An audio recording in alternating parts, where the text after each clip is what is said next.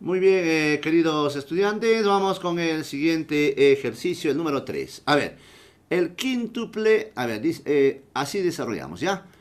El quíntuple de un número aumentado en 2 sería así, de un número aumentado en 2, ¿correcto?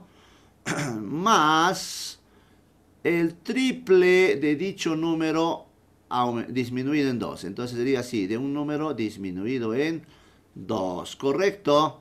Es igual, dice, al quíntuple de un número aumentado en 11. El quíntuple de un número aumentado en 11, ¿correcto? haya el triple de dicho número. Bien, eh, la forma como vamos a desarrollar es la siguiente. En este caso, el 5 pasa a multiplicar a ambos. Aquí también el 3 pasa a multiplicar a ambos, el 5 a ambos. Entonces vamos desarrollando, ¿ya? Desarrollando tendríamos 5x más 2 por 5, 10, más 3x menos 6. Estamos multiplicando, ¿ah? Ya, 5x eh, más 55. Correcto, ya. Ahora, en este caso sumamos las x. Aquí tendríamos 5 más 3, 8x.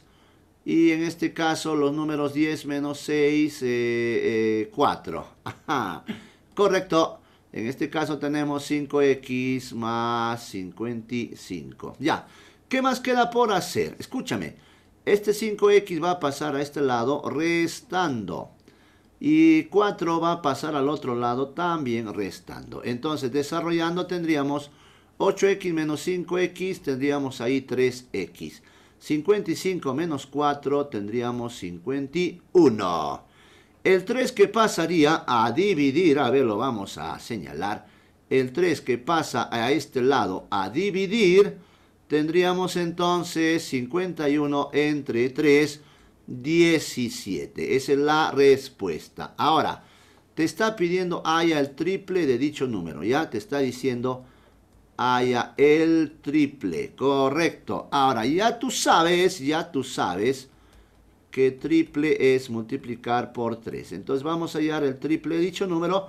O sea, el triple de 3 por 17 siendo la respuesta 51. Facilísimo, ¿verdad?